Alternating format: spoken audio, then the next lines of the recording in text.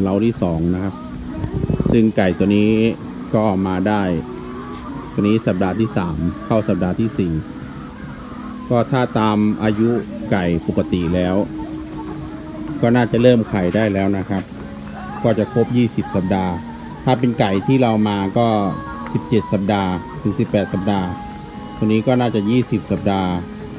ถึง 21 สัปดาห์ ก็น่าจะเริ่มไข่ได้แล้วนะครับนนี้ไก่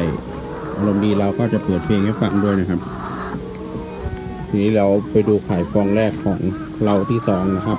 ที่เพิ่งลงใหม่ได้สามสัปดาห์ ไปน้อยไปน้อย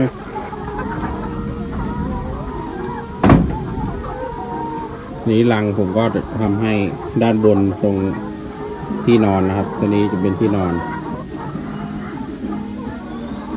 นี่ไข่ฟองแรกนะครับเพิ่งไข่ฟองแรกนะครับ